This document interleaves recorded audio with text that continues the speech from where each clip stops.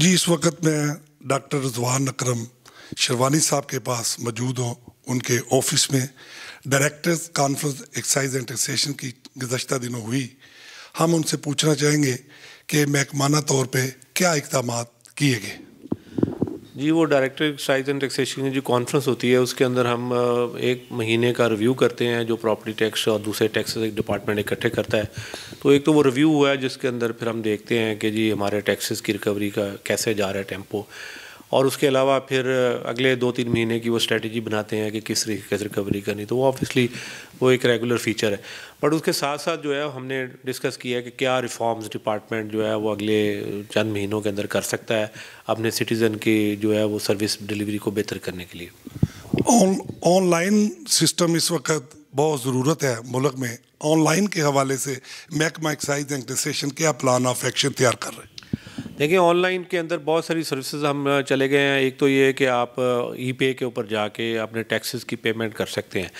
जब ये दो साल पहले हमने लॉन्च किया था तो उस वक्त हमारी जो टोटल कलेक्शन थी ऑनलाइन की, वो तकरीबन डेढ़ अरब रुपया थी। और इस वक्त जो इस साल अभी तक की कलेक्शन है, वो हमारी तकरीबन आठ अरब रुपया है। तो इसका मतलब ये है कि शहरीों ने उसको बहुत ज़्यादा सराहा है। और उसकी वजह से ही ये जो है ऑनलाइन पेमेंट का सिस्टम कामयाब हुआ है। इसके अलावा ऑनलाइन सर्विसेज़ के अंदर ये शामिल है कि आप अपनी गाड़ी की वेरिफिकेशन हमारी वेबसाइट पे जाके कर सकते हैं। आप ऑनलाइन अपील फ़ाइल कर सकते हैं। इसके अलावा हम ये करने जा रहे हैं कि जो गाड़ी की ट्रांसफ़र जो है उसको बायोमेट्रिक करने जा रहे हैं। तो आप ऑनलाइन पेमेंट करके बायोमेट्रिक का अपने थम इम्प्रेशन दें और आपकी गाड़ी के ट्रांसफ़र होकर आपके डॉक्यूमेंट्स आपके घर चले जाएँगे। आपको हमारे ऑफ़िस नहीं आना पड़ेगा। सर, इसके साथ साथ ताजर बरदरी को प्रॉपर्टी टैक्स पे भी बहुत से खदशात हैं।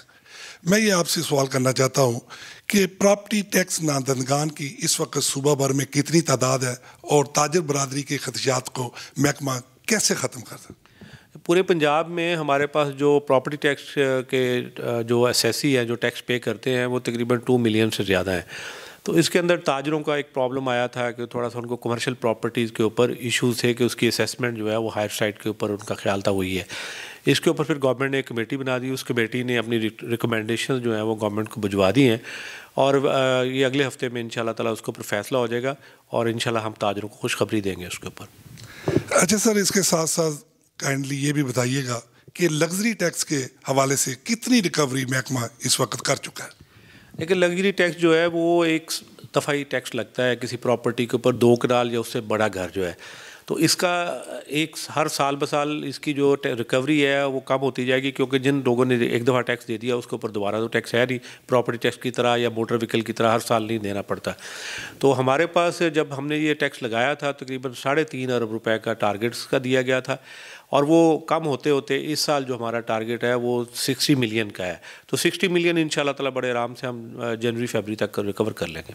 सर, ये प्रॉपर्टी टैक्स गरीब और मतवसत तबके को क्या relief new value table tax के हवाले से दिए जाए देखिए, गरीब तबके के लिए जो है, बहुत सारी इसके अंदर प्रॉपर्टी टैक्स के अंदर सहूलतें हैं। एक तो आपको पता है कि चंद एक कैटेगरी छोड़ के पाँच मरला की तमाम प्रॉपर्टीज़ जो हैं वो एग्जाम्प्ट हैं। तो इसमें आपको पता है, ऐसी पाँच मरला की प्रॉपर्टीज़ भी हैं जो बड़े अच्छे घर भी बने हुए बट गवर्नमेंट ने पाँच मरला को एक बेंच मार्क यूज़ किया तो वो एग्जामेशन है।